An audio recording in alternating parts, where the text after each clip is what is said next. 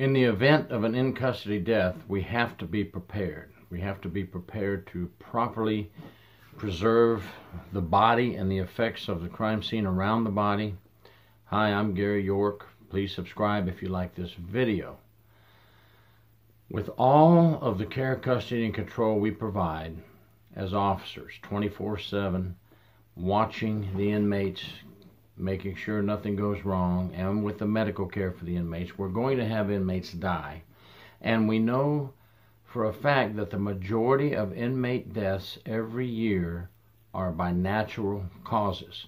So when you see the numbers uh, from each state come in and you see 431 inmates died in a certain state, remember the majority of the majority of those are natural deaths. However, though, we will have some suspicious cases and some suspicious evidence in some deaths. So we must treat every death in the prison exactly the same way in the way we handle it, the way we respond, the way we protect the crime scene, because we have to protect the integrity of ourselves, the frontline officers, to make sure we do the right thing. We have to protect the integrity of the agency. And when the death becomes public, we need to make sure we have our ducks in a row so that when we're being interviewed uh, in a courtroom by a defense attorney one day, we know what we're talking about and we know what we're doing. Uh, there's many ways to train for this in advance. If you don't want to, then that's on you. Um, I wish you luck when the time comes when the uh, investigation starts and the defense attorneys start hammering and the media starts hammering our agencies for an answer. Not trying to be mean, but that's the truth. We have to be ready for these things because although they may not happen that often, when they do, in some cases, they explode. So please be ready, and there's several ways to do that. Our agencies can conduct classroom training and live scenario training where you actually have scenarios. A combination of classroom training and then going out and doing a scenario where it's all set up in, in a cell and you have uh, groups go through together and do scenarios is a great way to do this. Now, you can also sign up for courses for in custody death. There are many, many, many courses out there that you can look at online or you can actually attend.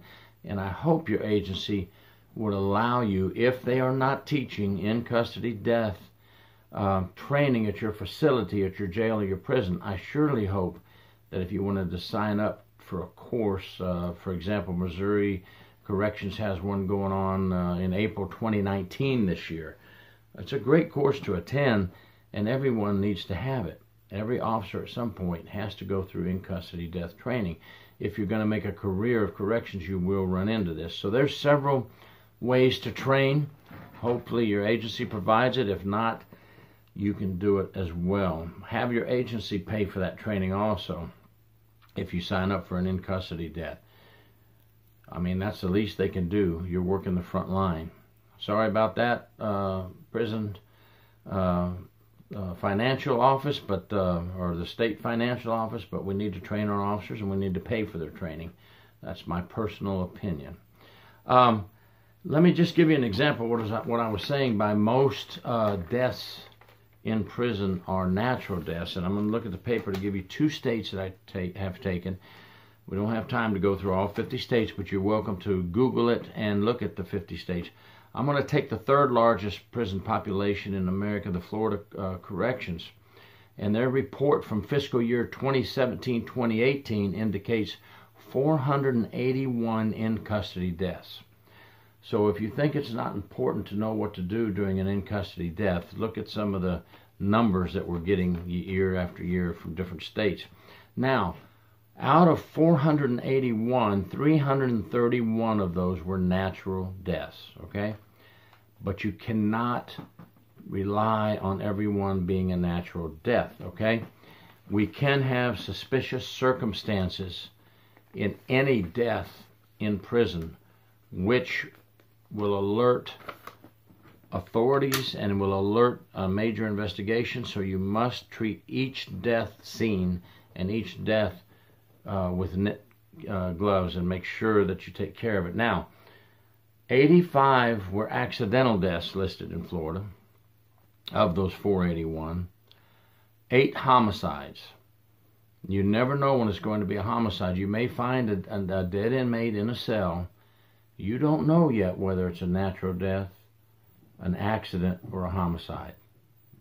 So, in a minute, we're going to go over some precautionary things when you come up on the scene on what to do to help you, the frontline officer, first responder, stay straight and have your things in order.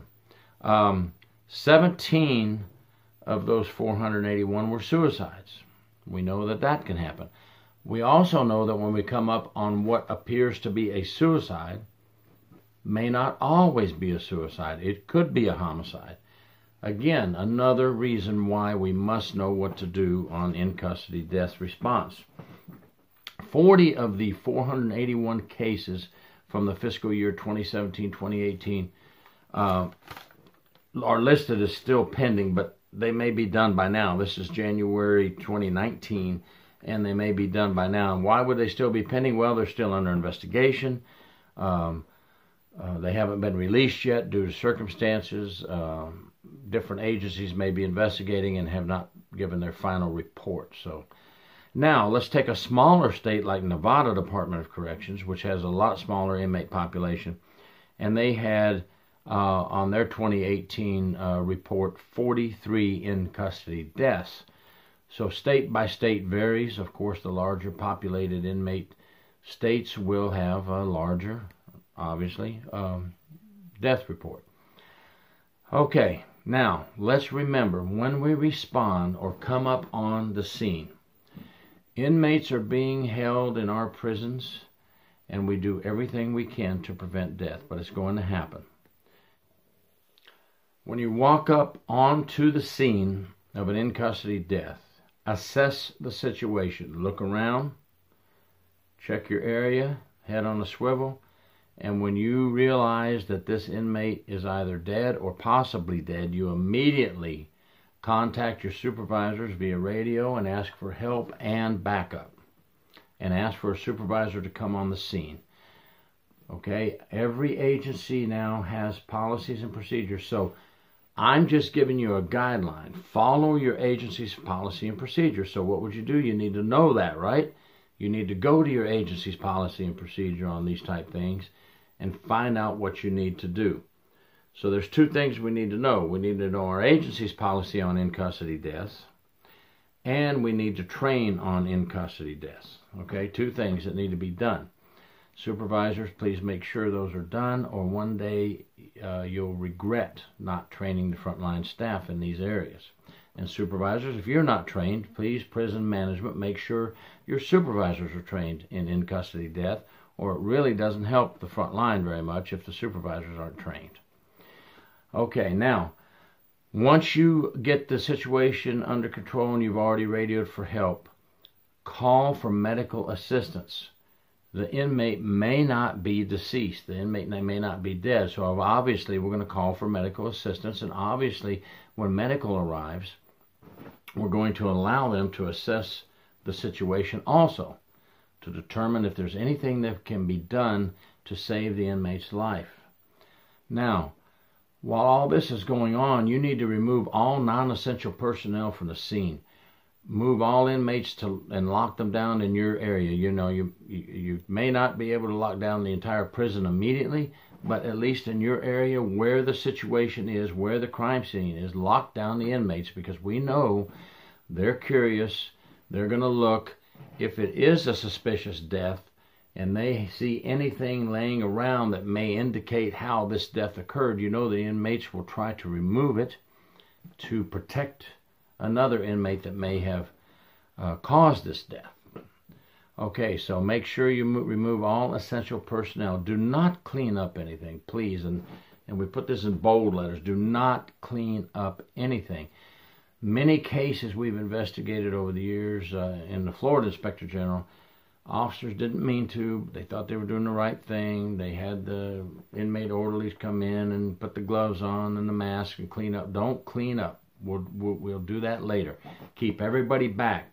Start a log immediately and get someone to use to uh, work that log for you as you protect the crime scene.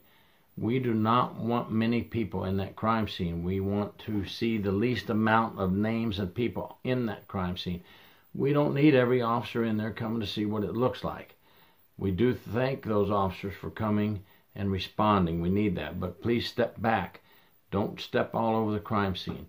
We're going to see some medical staff went in. We're going to see an officer or two went in. Obviously, they're the first responders. We're going to see uh, the medical examiner later coming into the crime scene because we have to have a medical examiner come in to uh, try to announce uh, death of the inmate, that the inmate is deceased. Um, supervisor's probably going to come in. So you're going to see some names, but let's keep it down. Let's don't have an audience coming in and out, in and out. Uh, on your log, Nurse Smith arrives 0900 assesses the situation. Uh, 0903, Nurse Jones comes in with Nurse Smith, and at 0920, both Nurse Smith and Jones exit. You know, um, that's that's what you have to have logged. Everybody that comes in. Let's get some crime scene tape up. I'm sure every prison or jail has crime scene tape. They should. Let's get that area blocked off and have the crime scene blocked off and have our scribe right on the outside of the crime scene tape, allowing or denying people access into the crime scene. Do not ever leave the crime scene until properly relieved. Once the jail detective, the prison inspector, or local law enforcement, whoever you have investigating this death, when they arrive, you will probably, the first person on the scene, still be assisting them with scribing and watching the crime scene. There should still be a couple of our correctional officers there watching and assisting. But once they tell you you're done and you're properly relieved, then you leave. Don't wander off and get a cup of coffee or a soda. I know in our job, um, we can look at a, at a body, many of us, and drink a cup of coffee right there, but don't do it. Don't wander off. Let's stay focused on our job at hand. Uh, I got kicked out of a um, autopsy because I was drinking coffee, and the medical examiner walked in in Fort Myers and said, "Please leave, get rid of the coffee, and come back in." I should have known better. No food and drinks. Why?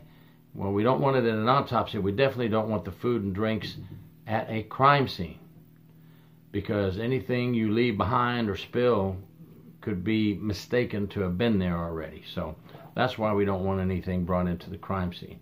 Um, when you write your report, please take your time and write your report uh, with the information we needed. Of course, it's you know the same old thing with report writing, but make sure you get every important detail you have into your uh, report, into your incident report or witness statement, how whatever your agency uses, and uh, make sure you put the time that you found the uh, body, location you found the body, approximate time, anything you see in the area. If you saw any weapons, if you saw blood splatters, the position you saw the body laying, any anything of this nature please uh, get it in the report. Any unusual circumstances, any suspicious activities, get all that into your report